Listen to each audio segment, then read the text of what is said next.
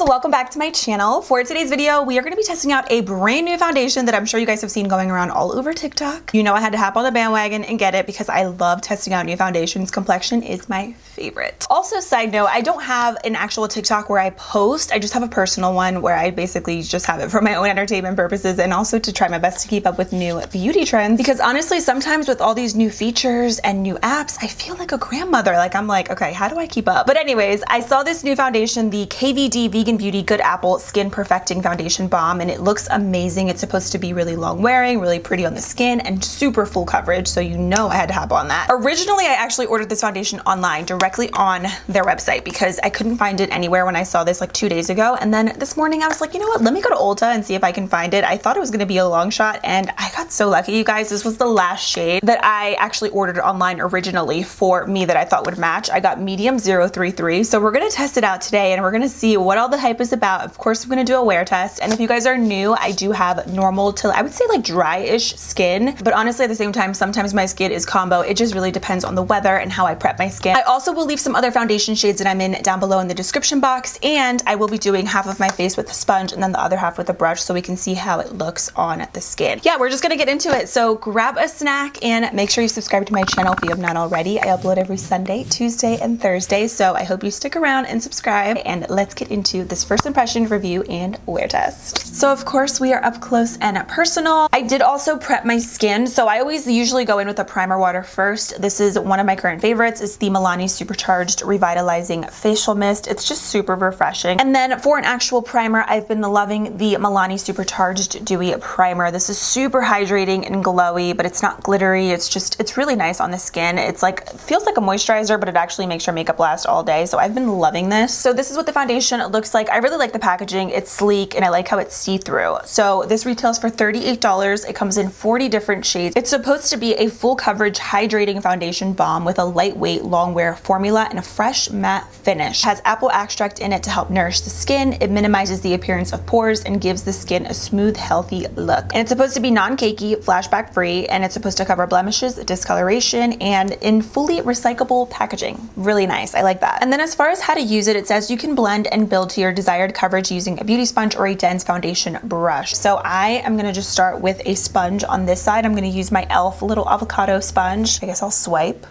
and then I'll dab.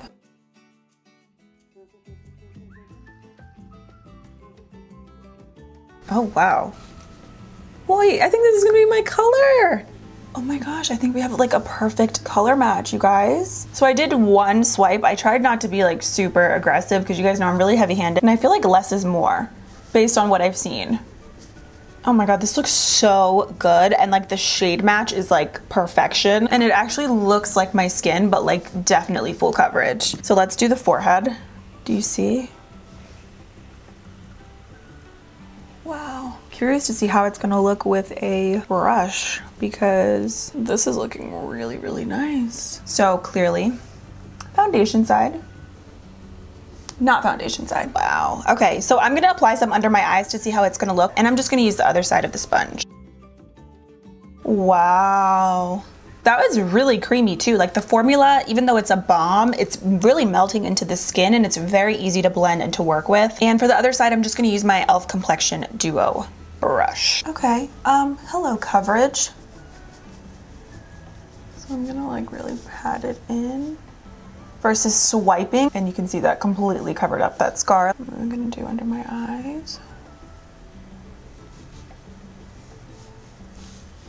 Definitely less is more. You don't need a lot of product to get that full coverage. So I agree so far with the claim, like definitely full coverage. I feel like it would be great for spot concealing or like little small areas on your face. I feel like it looks more full coverage with a brush. Definitely looks a little bit more kind of natural-ish with a sponge. This is probably the most full coverage foundation that I've like ever tried that actually feels this good on the skin. I have to say, looking at it, it definitely looks a little bit heavier on the brush side versus with the sponge, but both sides look look completely smooth and porcelain. I feel like with this, you don't even need a pore filling primer. So I'm shocked. I'm dying to finish the rest of my makeup though, because this looks intense. So I'm curious to see how it's gonna look. This foundation did not come to play. So I'll be right back and I'll check back in with you guys in about 10 minutes. Okay, so I'm back. This is what everything looks like. And I have to say, I am very impressed. It looks so good. It feels really lightweight, but the coverage is still so on point. It's very smooth, very porcelain. And I feel like now that I have set everything and used setting spray and everything,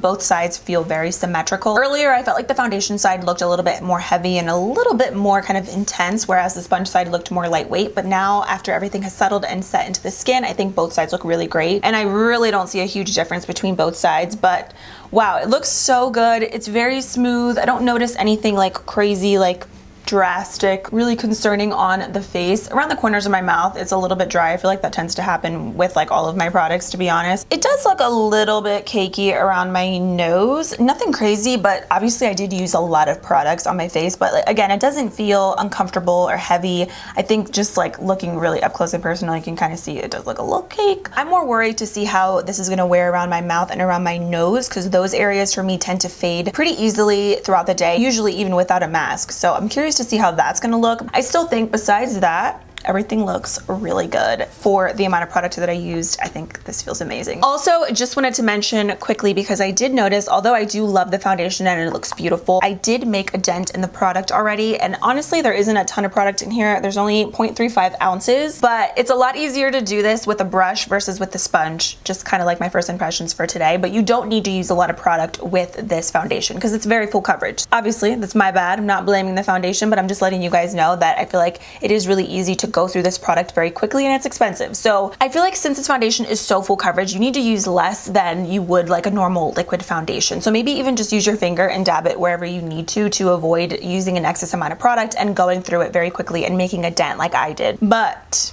this looks amazing. So yeah, I am gonna come back in a few hours. Right now it is 2.06, so I got a little bit of a later start to my day, but that's okay because I'm still gonna wear this throughout the rest of the day and I'll keep you guys updated on how it looks in a few hours, but I'm excited because I think it looks really good so far. So I'll keep you guys updated and I'll see you very soon. Hey guys, I'm back. It is now about almost 9.30 p.m. and this is what everything looks like. I have not touched up and let me just say that I was definitely more impressed earlier versus now. So I'm honestly not super crazy about this foundation and the way that it looks. To be completely honest with you guys, I feel like this really looked the best the first maybe like one and a half to two hours of wearing it. And then after that, I feel like it kind of just went downhill from there. First of all, the foundation right now feels super heavy on the skin. And I felt like it felt really heavy on the skin about like three, four hours into wearing it. So I basically wear it for an entire day, which this is typically how long I normally do wear my makeup for, about like seven, eight, sometimes nine hours. Was wearing a mask earlier, but honestly for maybe only like 10, 15 minutes. I just ran to the grocery store really quick and got right out. So I wasn't wearing a mask for a super long time. When I did take off the mask, there wasn't a ton of makeup on it for that little bit of time that I did wear. It. I started noticing more of the separation and like it fading after that. Also, it is separating on my forehead. I tried to get like really up close and show you guys. So hopefully you can see what I'm talking about, but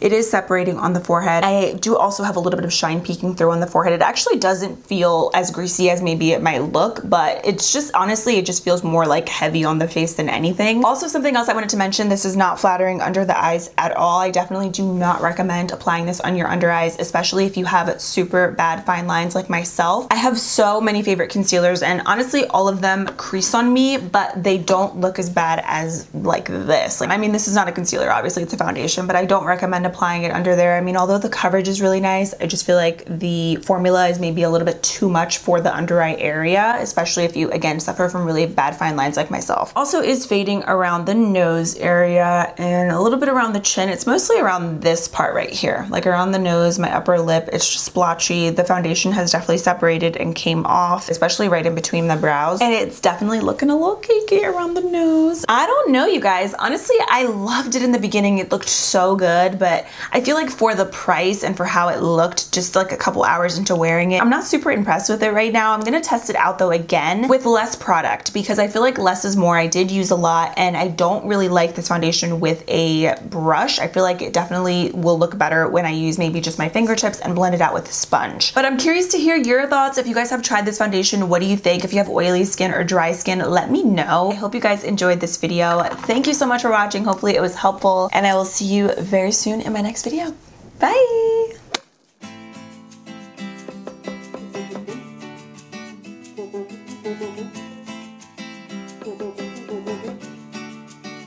Entonces,